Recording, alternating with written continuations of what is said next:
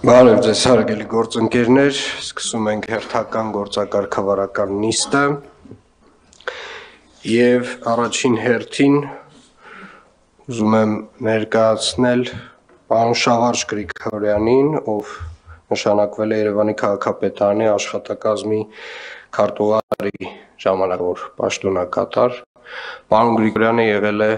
կամ պարոն Գրիգորյան Պարոն Գրիգորյանը եղել է առողջապահության փոխնախարար եւ մենք միասին աշխատել ենք իդի ամենածանր ժամանակաշրջանում։ Պարոն Գրիգորյան ջան, շնորհավորում եմ ձեր նշանակման կապակցությամբ։ Շնորհակալ եմ։ Եվ ցանկանում եմ ներկայացնել պարոն Հայկ Մուրադյանին, պարոն Մուրադյան, Պարոն Մուրադյանը նշանակվել է Երևանի քաղաքապետարանի աշխատակազմի ճարտարապետության եւ քաղաքաշինության վարչության պետի ժամանակավոր պաշտոնակատար, սա երևի թե քաղաքապետարանի ամենածանրաբեռնված վարչությունն է եւ շատ դեպքերում մենք ունենք խնդիրներ ժամկետանց գրությունների հետ կապված եւ ժամանակ կար, որ այդ վարչությունը մենք կոչում էինք Սև խորոջ։ Պարոն Մուրադյան ջան, ես հուսով եմ, որ այն խնդիրները, որոնք որ արկա են վարչությունում, տրամաբանական ժամկետների մեջ իհարկե հաշվի առնելով մեծածավալ դիմումները կլծվեն եւ ձեզ հաջողություն եմ մաղթում։ Շնորհավորում եմ։ Հարգելի գործընկերներ, առաջարկում եմ անցնենք զեկուցումներին։ Հիդրոմետ ծառայություն Համաձայն Պետհիդրոմետ ծառայության կողմից ներկայացված տեղեկատվության Երևան քաղաքում ապրիլի 17-ի եւ 19-ի ցերեկը, ապրիլի 18-ին սպասվում է առանց տեղումների եղանակ։ Ապրիլի 19-ի գիշերը եւ ապրիլի 20-ից 22-ը սպասվում է կարճատև անձրև եւ ամպրոպ։ Ամպրոպի ժամանակ քամուշ գնացում 13-ից 16 մետր վարկյան արագությամբ։ Առավելագույն ջերմաստիճանը շաբաթվա ընթացքում կգրանցվի ապրիլի 19-ի ցերեկը 22-ից 24 աստիճան տաքություն, իսկ նվազագույն ջերմաստիճանը կգրանցվի ապրիլի 20 22-ի գիշերը 6-ից 8 աստիճան։ Շնորհակալություն փրկարարական ծառայություն։ Պարոն փոխքաղաքապետ հաշվետու ժամանակահատվածում Երևան քաղաքի ճգնաժամային կառավարման բաժնում գրանցվել է 297 դեպք, որից արտակարգ իրավիճակների մասով 74, կենցաղային բնույթի 190 դեպք, ինքնակամ շինության 3 եւ կոմունալ կենցաղային հարցերով ստացված ահազանգների թիվը կազմում է 30, այսքանը շնորհակալություն։ Շնորհակալություն Վեոլա ջուր։ Պարոն Ավենյան հաշվետու ժամանակահատվածում գրանցվել է 650 վթար, որից 194-ը ջրագծից, 456-ը կոյուղագծի։ Վթարավերականգնողական աշխատանքների ընթացքում քանդվել է 566 մետր քառակուսի ասֆալտբետոնե ծածկույթ, որից 315-ը արդեն իսկ վերականգնված իրականացվել է թվով 23 վթարային ջրանջատում, 8 դիտահորերի եւ 87 հեղատար ցանցերի մաքրման աշխատանքներ։ Այսքանը շնորհակալություն։ Շնորհակալ եմ, պարոն Գալստյան։ Երևի թե ամենահաճախ հանդիպող խնդիրները Երևան քաղաքում այս շրջայցերի ընթացքում, որ արձանագրում ենք, դա գոյուղիների հետ կապված խնդիրներն են, եւ ես կարծում եմ, պարոն Արեյան, որ մեկ քննարկում պետք է իրականացնենք մեզ մոտ եւ նաեւ միգուցե նախարարության հետ ներգրավելով, որպիսի ժամանակացույց ֆիքսենք, թե այս կൂട്ടակված տասնամյակների կուտակված խնդիրները ինչպես ենք համակարգային ուծում եւ ունենանք հստակ միջոցառումների ծրագիր։ Երևան գազ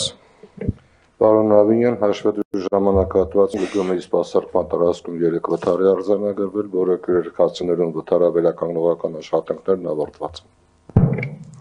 Շնորհակալություն Հայաստանի էլեկտրական ցանցեր։ Պարոն Ավենյան, անցած շաբաթվա ընթացքում ունեցել եք 53 անջատում, որից 36-ը վթարային, 17-ը պլանային։ Նորմալ ուսանքաժողովներ չունեցող։ Շնորհակալություն Երևան ջրօգտագործողների ընկերություն։ Պարոն Ավենյան, մենք պատրաստ ենք արդեն որոշման ջրամատակարարման ապահովման ցանկացած հայտի դեպքում, իսկ ամսի 10-ից սկսած նոր տնկարաներում մենք ցանկացած պահին, ցանկացած ժամանակ պատրաստ ենք բավարարելու ջրամատարարումը։ Շատ բարի։ Հիվանդությունների վերահսկման եւ կանխարգելման ազգային կենտրոն։ Ապրիլի 8-ից մինչև ապրիլի 14 նկատ ժամանակահատվածում իրականացված խմելու ջրի լաբորատոր հետազոտության արդյունքում շեղումներ չեն արձանագրվել։ Նույն ժամանակահատվածում Երևան քաղաքի բնակիչների շրջանում սննդային թունավորման դեպքեր չեն գրանցվել։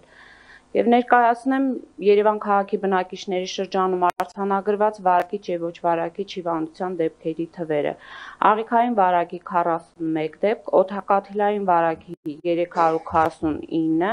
մանկական վնասվածքների 99, մակաբուծային հիվանդությունների 3 եւ քիմիական թունավորումների 21 դեպք։ Շնորհակալություն։ Շնորհակալություն։ Սննդամթերքի անվտանգության տեսչական մարմին։ Պարոն Ավինյան, նախորդ շաբաթվա ընթացքում Սնդամթերքի անվտանգության տեսչական մարմնի թեժ գծի հեռախոսահամարին գրանցվել է 6 ահազանգ, որոնք վերաբերվել են Սնդամթերքի մակնշման խախտումներին եւ պահման պայմաններին։ Բոլոր ահազանգերի մասով իրականացվել են վերահսկողական աշխատանքներ, արտարոց դեպքեր չեն ունեցել շաբաթվա ընթացքում։ Շնորհակալություն Երևանի ավտոբուս։ Պարոն Ավինյան, հաշվետու ժամանակահատվածում Երևանի ավտոբուս փակ բաժնի տիրական ընկերության կողմից սպասարկող 41 երթուղիներում աշխատել են ընդհանուր թվով 2193 շարժակազմ, որից 631-ը հայ գերմակնիշի, 1133 ժողովրդող մակնիշի, 28 ման մակնիշի ավտոբուսներ եւ 401 փոքր դասի միկրոավտոբուսներ։ Տեղի ունեցել ճանապարհատրանսպորտային 13 պատահար առանց լուրջ հետևանքների։ Այսքանը շնորհակալություն։ Շնորհակալություն։ Միանգամից պարոն Սարգսյան, կխնդրեմ տեղեկացնել նոր մտած գծերի եւ այս շաբաթվա ընթացքում պլանավորվող ավել քանակների, ավտոբուսների ավել քանակների մասին եւ ուղությունների։ Պարոն Ավինյան, ինչպես նախատեսել էինք, ամսի 15-ից շահագործման հանձնվեց 12 մետրանոց ման մագնիշի ավտոբուսները թվով 14 հատ առաջի երթուղում Ամսի 15-ից կատարվեց 22 համար միկրոավտոբուսային,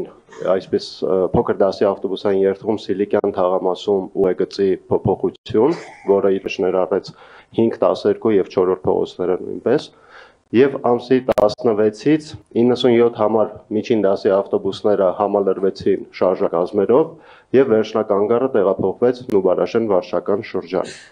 Այս շաբաթվա ընթացքում նախատեսվում է ամսի 20-ից 38 համարի փոքր դասի ավտոբուսները փոխարինել Հագեր Մագնիշի ավտոբուսներով միջին դասի եւ փոքր դասի ավտոբուսներով արդեն նույն օրը շահագործուն հանձնել 40 եւ 67 համարի երթուղիները